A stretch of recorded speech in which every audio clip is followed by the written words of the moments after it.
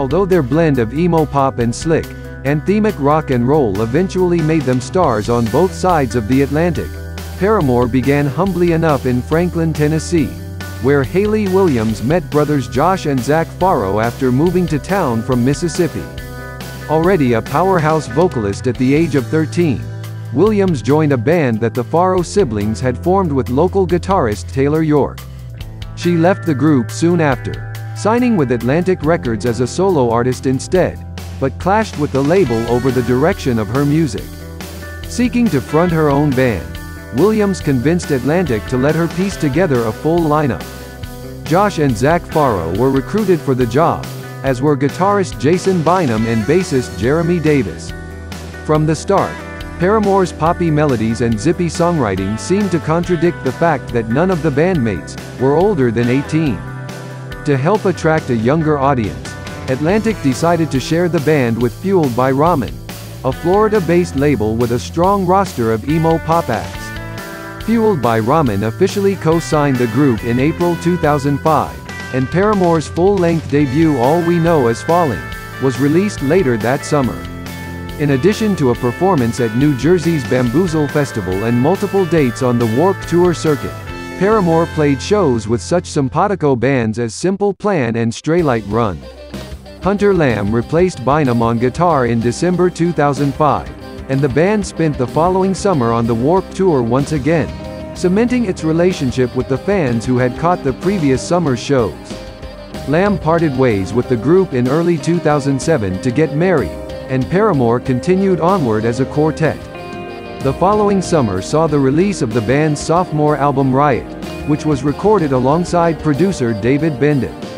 Buoyed by the popular singles Misery Business, Crush Crush Crush, and That's What You Get, Riot turned Paramore into industry heavyweights, going platinum within its first 13 months of release and earning the band a Grammy nomination for Best New Artist. With original guitarist Taylor York now back on board, Paramore toured exhaustively in support of the record, even landing a two-month jaunt across the continental US with their idols Jimmy Eat World. Meanwhile, the band found time to contribute two songs to the best-selling Twilight soundtrack, including the top 40 single Decode. A live album entitled The Final Riot was released several weeks after the Twilight soundtrack, capturing the group's strength as a live act and concluding the long touring cycle in support of Riot. Paramore publicly struggled with fame throughout 2008. Of particular note was the attention lavished upon Williams, whom many media outlets deemed to be the leader of the group. Rumors of a breakup began to circulate, Yet Paramore's lineup remained intact, and the band retreated to a California studio in 2009 to work on a third album. Following a popular summer tour with No Doubt, the group issued Brand New Eyes, a pensive record that featured some of Paramore's strongest songwriting to date. The album debuted at number 2 with sales of 175,000 copies, besting Mariah Carey's Memoirs of an Imperfect Angel.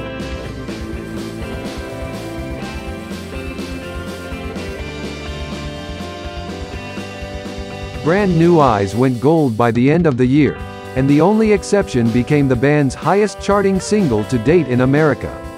Meanwhile, Williams scored her own chart topper with Airplanes, a multi-platinum collaboration with hip-hop artist B.o.B. Long simmering tensions between Williams and the Farro brothers had reached a boiling point by late 2010, though resulting in a messy split between Josh and Zac Farro, considered by many to be the band's co-founders and the three remaining members. Days after his exit, Josh Farro wrote a blog post detailing the band's history, including previously unknown details regarding Atlantic's early involvement and Williams' solo contract. In 2011, Paramore released the single Monster, which was included on the Transformers Dark of the Moon soundtrack. This was the first song recorded without the Farro brothers and first to feature York taking over all guitar duties.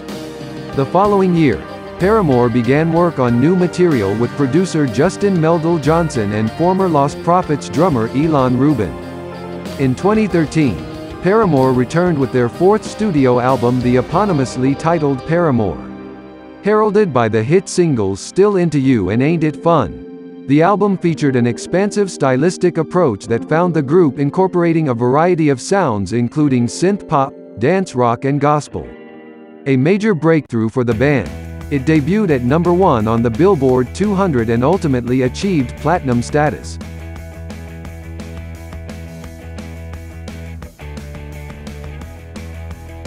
Following the band's tour in 2015, Paramore announced they had parted ways with bassist Davis. It was soon revealed that they were engaged in a legal dispute with him over songwriting credits and royalties. Despite the lawsuit, Williams and York began work on a follow-up to their self-titled album, once again collaborating with Meldal Johnson.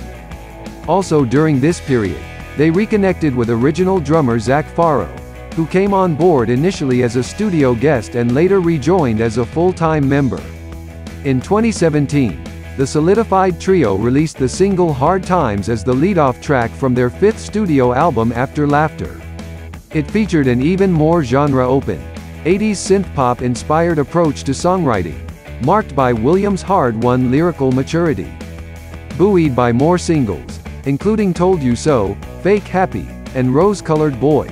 The record also performed well, peaking at number 6 on the Billboard 200 and topping both the alternative and rock charts. Following an extensive two-year tour, Paramore went on hiatus in 2019. Williams used the time off to begin work on a solo project, writing songs with York and Paramore's touring bassist Joey Howard. In January 2020, she debuted the track Simmer and Leave It Alone, which featured a darker, more artistically minded tone than previous Paramore songs.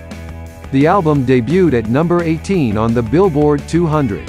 Nine months later, in February 2021 she released her second full-length solo album, Flowers for Vases Descansos.